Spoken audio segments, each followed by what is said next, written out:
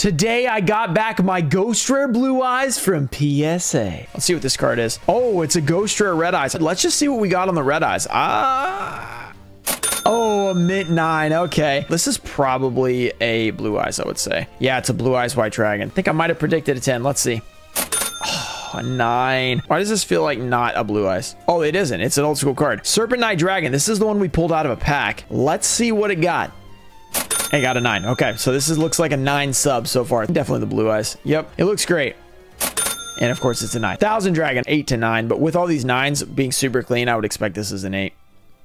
Oh, got a 9. Okay. So this is the one we pulled out of a pack recently. I don't know. I think I actually predicted a 10 because I thought it would be. Let's see. Oh, why is it a 9? Oh my goodness. Check that card out. Woo, that looks good. Let's see. Our last hope at a 10. What? An 8?